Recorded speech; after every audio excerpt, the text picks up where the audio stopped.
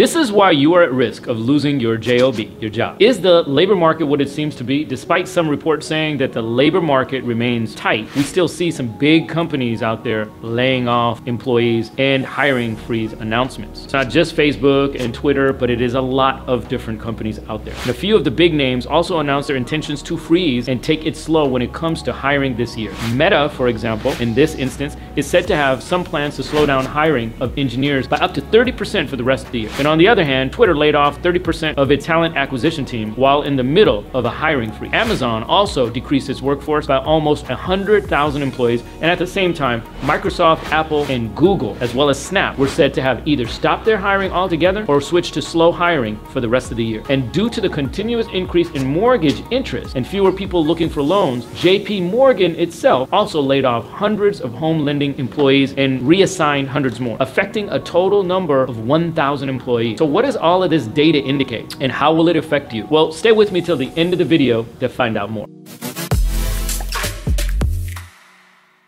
Hi, I'm Munif Ali. I'm a self-made multimillionaire who started this YouTube channel to share my life experiences so that I could teach other people how to be more successful. And if you like this type of content, go ahead and hit that like and subscribe button. So now let's talk about why companies are laying off some workers. To know the reason behind this, let's go back a few years during that capital P word pandemic. So in April of 2020, the unemployment rate was 14.7%, the highest rate in data history since 1948. There were various reasons for this. One of the most common ones was due to limited mobility. Many businesses were forced to suspend their operations and at worst permanently close down. In fact, according to a survey, 18.74% or 1,584,019 establishments in the private sector alone experienced a government mandated closure of business. However, when the economy began to recover, businesses began to reopen. It was reported that there was a massive shortage of labor, and the US labor market at the time had 11 million vacant positions, making businesses desperate for personnel. To fill these positions, businesses starting offering, guess what? Higher pay to attract workers back. However, when things started to settle down, business owners realized that they might have hired too many people and personnel. And since the economy hasn't fully recovered yet, many businesses are still experiencing negative bottom lines. Unless they achieve record breaking profits, there might be a need to downsize. And that's what we are experiencing right now. Massive layoffs here and there. For instance, according to Gap's interim CEO, they plan to cut 5% of their corporate workforce because they let their operating costs, which include labor costs, increase to a faster rate than even their sales. Another one from Robinhood said that between 2020 and 2021, the company hired so rapidly that they grew from 700 people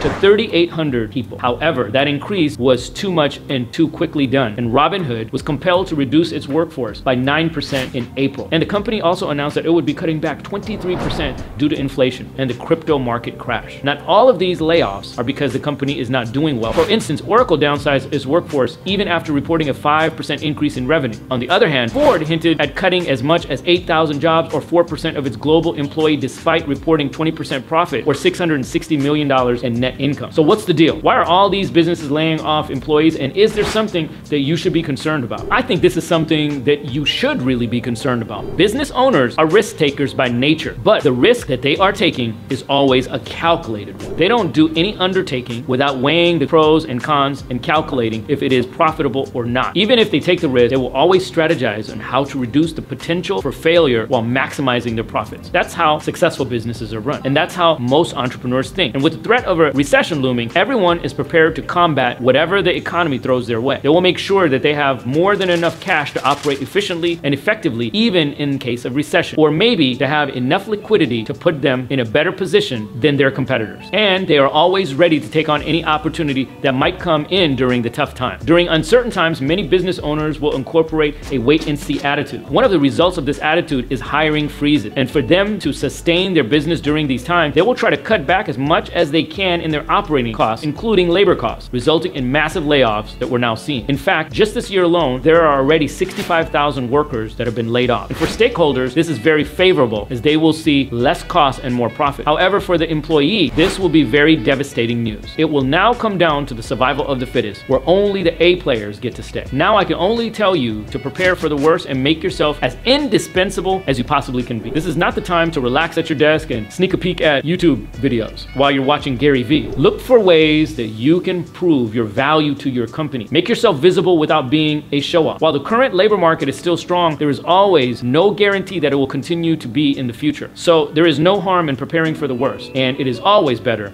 to have a plan B. Thank you for watching this particular video, and I hope you guys find today's topic valuable. If you do, go ahead and smash that like button, and don't forget to subscribe. And if you're still hungry for more, you can check out this video, How to Calm Financial Panic During Inflation Surges, next.